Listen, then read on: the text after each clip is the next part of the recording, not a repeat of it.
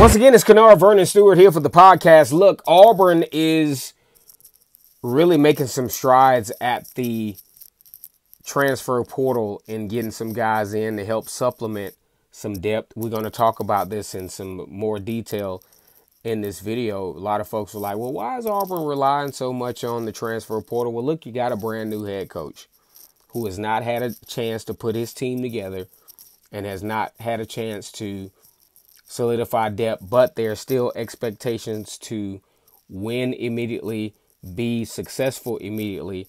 And fortunately for Hugh Freeze, the transfer portal is an option. You got a lot of guys out there that, I mean, they may not have been excellent recruits as high school kids.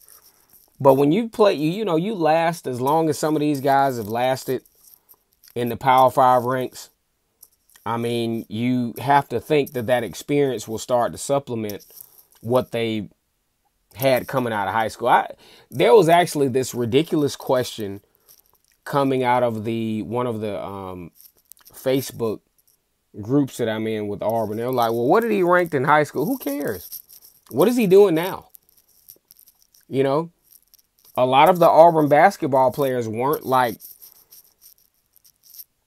great recruits out of high school, but now they're balling. I mean, you look at Johni Broom, you know, coming out of Florida, goes to Morehead State first, then comes to Auburn, and now he's an all SEC, all American, and decides to come back. Now, I could speculate as to why he may be coming back, and for good reason, good for Auburn, good for him. But either way, I mean, we can't go on that because we have seen before I mean, you look at John Emery Jr. from LSU, one of the top running backs of that time, and he had 121 yards last year. So we can't always go by that, guys. So, um, like I said before, go ahead and like the video, comment, and subscribe. You got Isaiah uh, Raikes, who played with Texas A&M just last year. He transfers to USC and decides that you know, hey, I don't want to go here. I want to you know kind of follow um, DJ Durkin, who is now the defensive coordinator at Auburn, and he's very successful.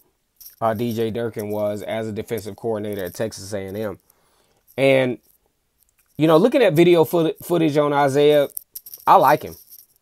You know, can I just go ahead and say that he's going to be this world beater?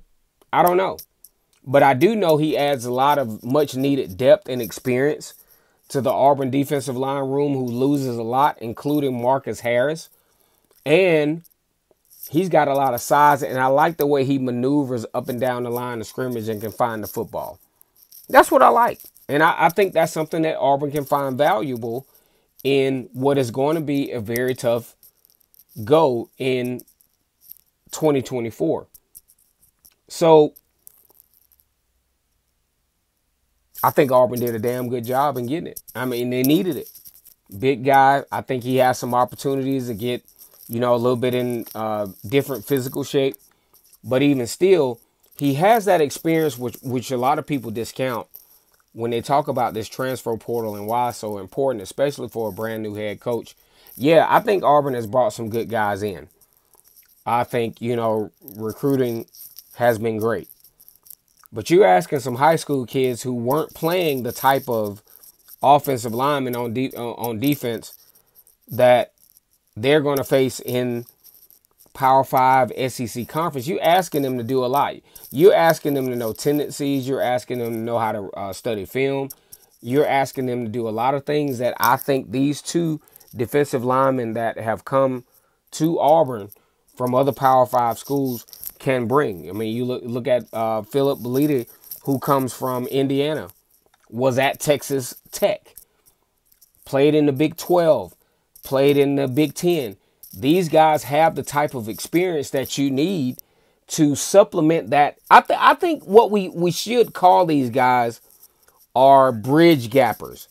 They're going to, th- these transfer portal situations, I think, especially the way Hugh Freeze has played it, they br- they're bridging the gap.